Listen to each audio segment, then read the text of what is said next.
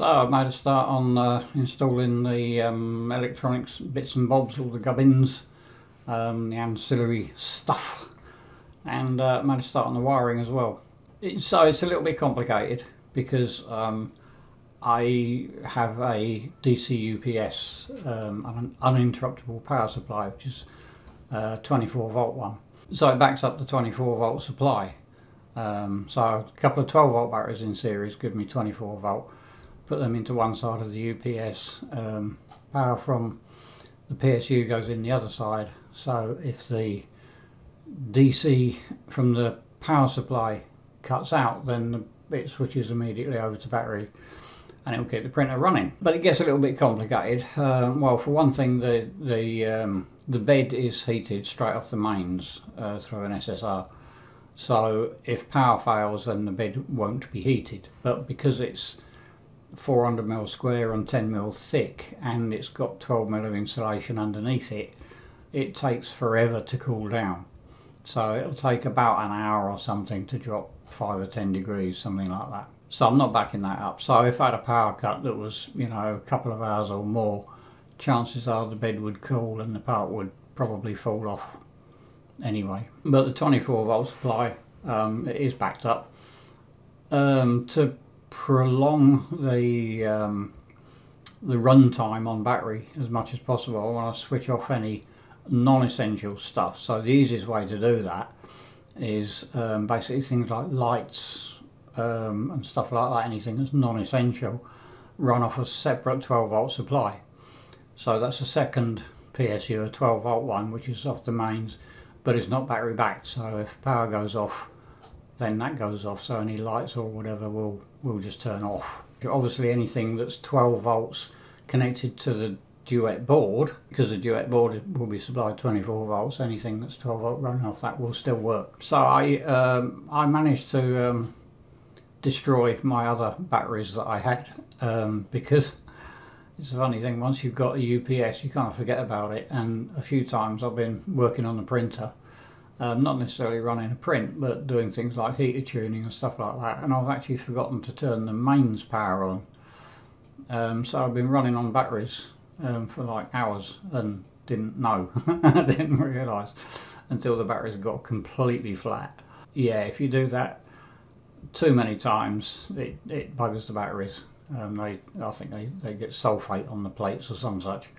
Um, they're not happy. So I had to get a couple of new batteries, and because I've got room in this drawer, um, this over-engineered all-metal drawer that I've made, um, I thought I can put batteries in there. So I bought two small um, Yuasa 7 ampere batteries that they use in UPSs. So that'll give me 7 amperes well 7 amperes at 12 volts I've got them in series at 24 volts so it's still 7 amperes at 24 volts um, doesn't sound like a lot but if I'm just running the hot end heater a couple of fans um, and the motors um, I'd be surprised I mean the hot end heater say say it's 50 watts that's a couple of amps at 24 volts um, but that's only when it's initially heating. Once it's up to temperature, it probably only uses about a tenth of that. Same with motors, they're 1.8 amps maximum is what they're set to, but they're probably only running about a tenth of that normally. Um, so, uh, you know, a maximum three and a half amps, I would think. Um, so, seven amp hours, three and a half amps should, in theory, give me a couple of hours of runtime. Um, but that would completely flatten the battery. So realistically, say an hour of runtime to get to 50%. Um, I'll have to run some tests and, and, see.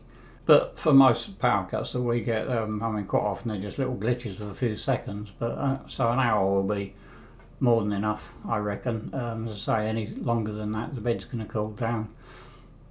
So you're probably going to lose the print anyway. But yeah, it starts to get complicated because I didn't want to keep buying batteries. Um, so, so I fitted a, an isolator for one thing, a DC isolator, so I can just isolate the battery. So if, if we go away for any length of time, visit our family in Australia or something, I can just turn them off completely. I've also fitted a an automatic cutoff, so if the voltage gets below um, gets too low, I can't remember what the threshold is I've set it to, um, but they will just switch off. So that should prevent them being over discharged. And then the other thing that can happen apparently with two batteries if they're not um, they, they, should be okay if you buy them both together at the same time both new ones which is what I've done. Uh, but you can get a situation where you've got one good one and one not so good or one highly charged and one hardly charged. And so then if you um, when you charge them when they're in series you can overcharge one that's already highly charged in order to get the other one up and so that doesn't do them any good either so I bought a battery equalizer and fitted that as well. So it rapidly starts to become this uh, battery backup. Starts to get a bit complicated. So I've got the DC UPS, I've got the batteries, I've got a battery equalizer, I've got a, an isolator, and I've got an automatic cutoff. So I say then um, non-essential. I've got a 12 volt supply for non-essentials like lights and things like that. So they will, you know, if there's a power cut, they'll just go off and then I've also got a 5 volt supply which I originally bought for using an SBC, a single board computer. Um, but I run my computer standalone so I don't use that but I might well um, end up with a I don't know an ESP module or two to monitor various things like temperature and humidity and stuff and or control the lights. I could put a motion sensor in there so if I walk away the lights will go out, things like that. So 5 volt supply, independent of the all the duet stuff, uh, is probably going to be useful. I had it anyway, so I might as well fit it. Um, and that actually is a DC to DC, so it's derived from the 24 volt supply. So if that if the mains fa fails, the UPS will cut in and maintain the 24 volt supply, which will also maintain the 5 volt supply. So if I've got an ESP doing things or an Arduino or something um, that will stay alive as well. And then on the main side, um, because everything's metal, the draw's metal, the frame's metal, everything's metal, I'm just bonding everything to ground. Um, connected all the negatives of the power supplies together and I've connected them to ground. And I've got a um, uh, an earth leakage device, an earth uh, residual current breaker, a double pole residual current breaker. I've also fitted um, sockets. I mean a socket on the back of the printer. It takes like a kettle lead, that type of thing.